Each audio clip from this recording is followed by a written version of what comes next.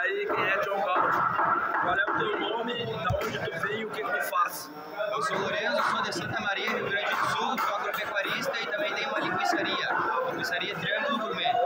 Triângulo Gourmet? Triângulo Gourmet. Lá em Santa Maria? Lá em Santa Maria, Rio Grande do Sul. Ah, legal. O que, tu entendeu aí? Vale a pena mexer com wood frame? O que, tu fala sobre wood frame?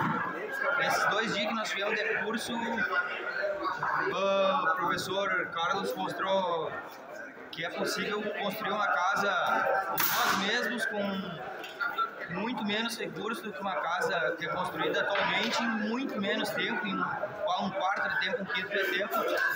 E ele está aqui desmistificando o wood frame, mostrando que é uma coisa que é possível todo mundo fazer e cada vez entrando mais no Brasil. Ele é pioneiro nisso, está conseguindo mostrar para nós e levar à frente o wood frame. Legal, muito obrigado pelo depoimento.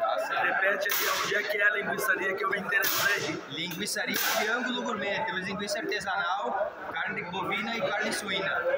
Do, uh, selo CISB, linguiça produzida em Santa Maria, pode ser vendida para todo o Brasil e região. Onde é que fica lá em Santa Maria? A sede fica em, a fábrica nossa fica em Santa Cruz, mas a distribuição é em Santa Maria. A gente já foi 32 mercados lá em Santa Maria e região da Ah, legal. Tá bom, foi um prazer. Muito obrigado pelo abraço aqui no curso.